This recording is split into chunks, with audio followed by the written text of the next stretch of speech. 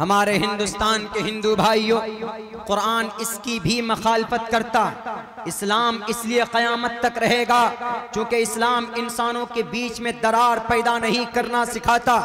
इस्लाम और कुरान करीम और शरीयत लोगों के बीच में नफरत नहीं पैदा करता है, न बांटता है, न इजाज़त देता है, न तशद करता है इस्लाम।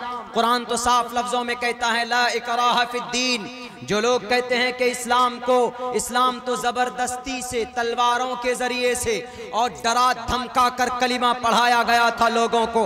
ये गलत है। एक ऐसा मफरूजा जिसको बड़े गलत अंदाज में हिंदुस्तान के लोगों के बीच में पेश किया जाता। इस्लाम के अंदर इतनी अच्छाई है कि लोग मजबूर हो जाते हैं इसको सीने से लगाने के लिए, इस्लाम की सच्चाई और इसकी अच्छाई की बुनियाद पर, अच्छाई और सदाकत की बुनियाद पर, पिछले जमाने के लोगों ने इसको कबूल किया, क्योंकि इसके अंदर इतनी अच्छाई है ही। इसके अंदर सच्चाई है, इसके अंदर अच्छाई है, इसके अंदर अदालत है किसी पर जुल्म तशद करना कुरान नहीं सिखाता, इस्लाम नहीं सिखाता। सपोज़ दैट यही ले लीजिए, जात बिरादरी के अंदर लोगों को डिवाइड करना बांटना।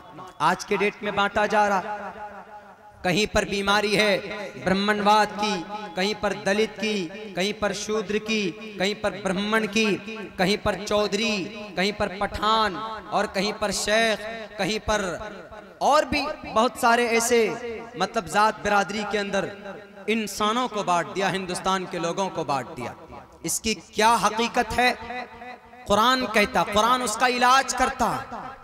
कुरान कयामत तक के लिए ये ग्रंथ है। कयामत तक के लिए इंसानों को सीधा रास्ता दिखाने का एक एक संविधान है। और ये कुरान बताता है लोगों को कि इस धरती पर ना तो कोई नापाक है और ना ही कोई महान है, ना कोई बड़ा है। कुरान कहता है इन अकरमकुम इंदल्लाकुम इस धरती पर अगर मुसलमान है, अपने आप को वो ये कहता है कि मैं सैयद बिरादरी से ताल्लुक रखता हूँ। I belong to Syed tribe मैं सैयद खानदान से ताल्लुक रखता हूँ। And therefore first time I will enter the paradise and heaven मैं जन्नत में सबसे पहले जाऊँगा। तो कुरान कहता है कि नहीं। कुरान कहता है कि बिल्कुल नहीं। इन अकरमकुम इंदल्लाकुम अल्लाह से अगर डरते हो, अल्लाह की नज़र में जात बिरादरी की कोई अहमियत और हैसियत नहीं है, जनाब।